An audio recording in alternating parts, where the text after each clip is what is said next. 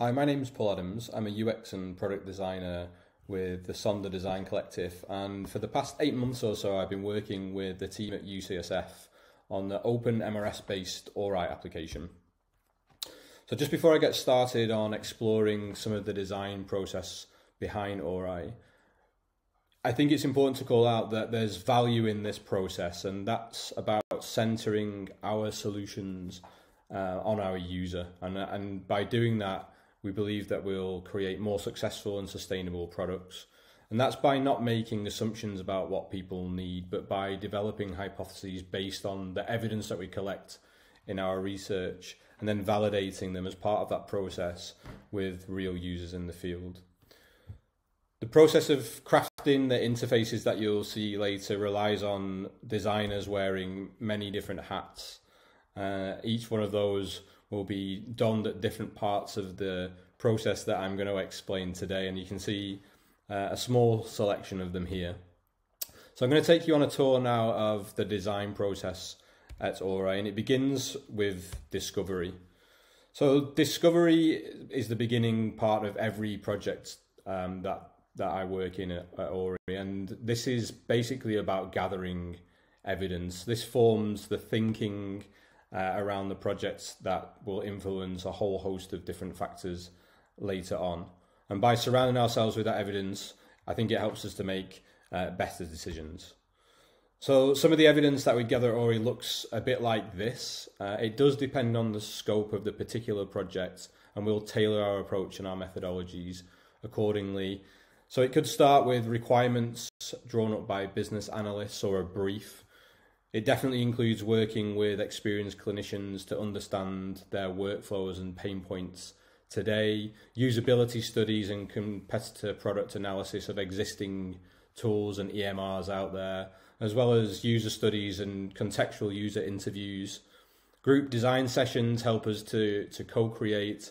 There's a body of academic and industry research that we will lean on, and discovery workshops are an important part of what we do as well. I'm going to go into that a little more now.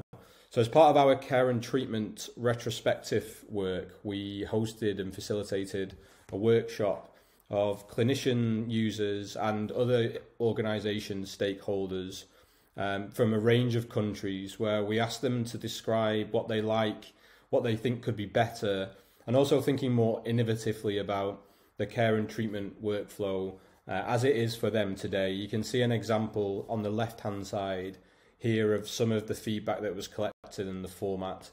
Obviously, during these COVID 19 times, it's not been possible to get together in person, so we use the tool called Miro, which allows us to collaborate around the kind of digital whiteboard. Following that session, we managed to create a structured set of user needs, and you can see some of those on the right hand side here. So, this describes the user uh, what it is they're trying to achieve, uh, and why that is. This evidence that we collect in whatever format uh, I described earlier will help to frame the problem that we're going to solve, and this forms the basis of the start of the ideation phase. Here you can see an example of a problem statement that we would draw uh, to influence this ideation. This particular one here refers to care and treatment in a point of care setting and will usually be formatted in this kind of way, beginning with how might we. That problem statement then creates uh, conversations where we will diverge on possible solutions. Some examples here of how we can do that, but it's about suspending that critical thinking. More is more. We want to generate a lot of ideas here.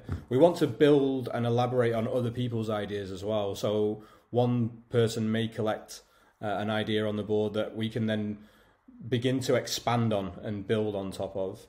And also think creatively, and, and importantly, creative thinking is something that the whole team, uh, from development to analysts, as well as designers, can get involved in. This is not artistry; it's it's about thinking in in uh, in different ways, and we want to be outcome orientated.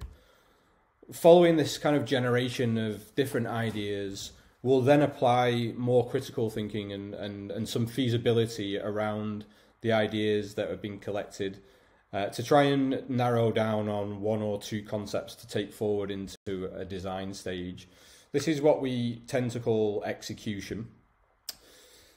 This is uh, a part that we um, really leverage um, the OpenMRS community and specifically in design, the OpenMRS 3.x design system. So the design system is a really rich set of components and design patterns. It's based on our IBM's carbon design system, as Kieran alluded to a little bit earlier. And uh, we've also built on top of it with the specific components that we would need inside an EMR. And we've continued that tradition in OHRI as well.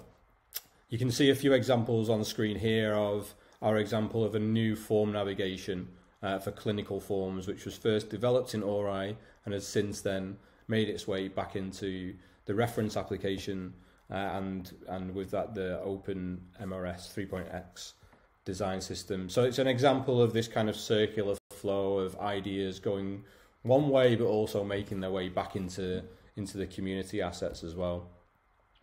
At this stage, we take these components and patterns, and they start to look fairly familiar to those that might have seen an EMR before. These are the user interfaces that people would interact with.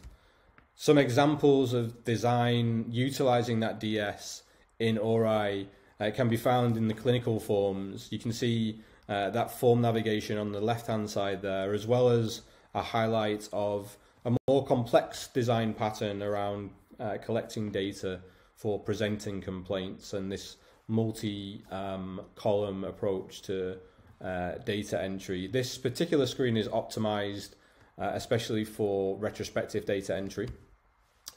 The DS or design system um, can also be used as the foundation for new apps and widgets that you might need to develop to meet uh, certain user or organizational needs. One example here is that we developed clinical dashboards, customized clinical dashboards for OHRI. the one in front of you is related to a, a clinic. But also other um, applications that might sit slightly outside the patient uh, the patient chart or the patient flow and, and the one that you can see on screen here is a, a new lightweight dispensing and pharmacy application that we're working on right now.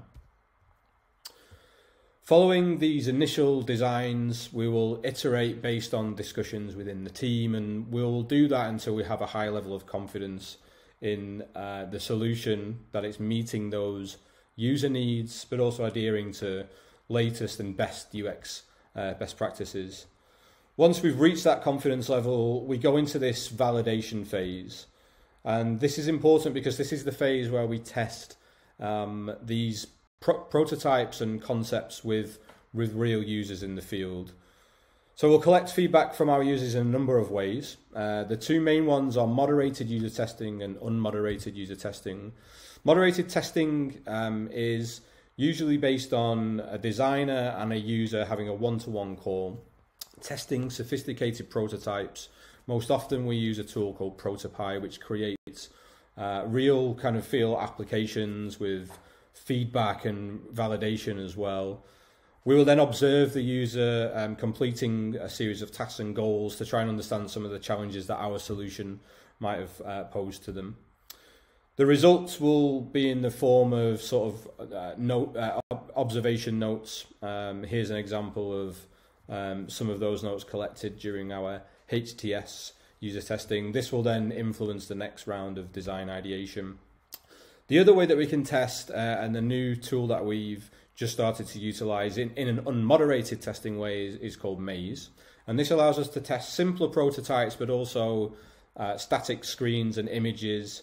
It gives us an, uh, an understanding of the user's first impressions as well as their understanding of kind of key features and user flows. The results uh, are slightly different in this sense that we can correct, collect qualitative feedback, but also get this kind of more quantitative analysis of the solution's usability.